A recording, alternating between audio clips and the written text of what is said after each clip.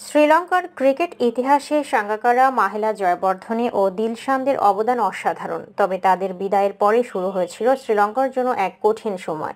হুট করেই তারকাখচিত দলটি বিশ্বের সেরা প্রতিদ্বন্দ্বিতা হারিয়ে নিতান্তই সাধারণ এক দলে পরিণত হয়। সেই সময় অনেকে ধরে নিয়েছিল শ্রীলঙ্কা হয়তো আর সেরার কাতারে ফিরতে পারবে না। কিন্তু কঠিন সময় শক্তিশালী ক্রিকেটারদের তৈরি করে শ্রীলঙ্কাও সেই প্রমাণ দিয়ে চলেছে।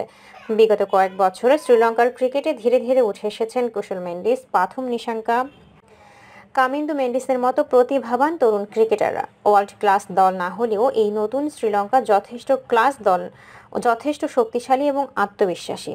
সম্প্রতি ইংল্যান্ডের মাটিতে ইংল্যান্ডকে টেস্টে পরাজিত করে দলটি প্রমাণ করেছে।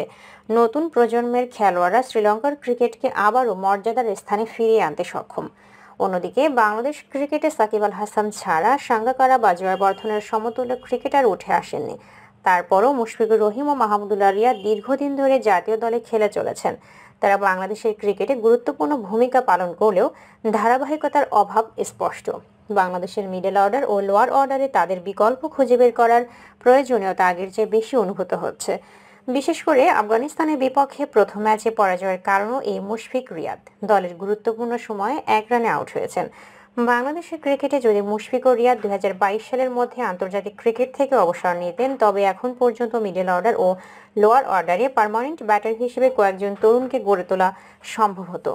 শ্রীলঙ্কা যেখানে নতুন তারকাদের তৈরি করছে, সেখানে বাংলাদেশ ক্রিকেটের ভবিষ্যতের কথা মাথায় রেখে অভিজ্ঞতার বিকল্প খুঁজে বের করার সময় এসেছে।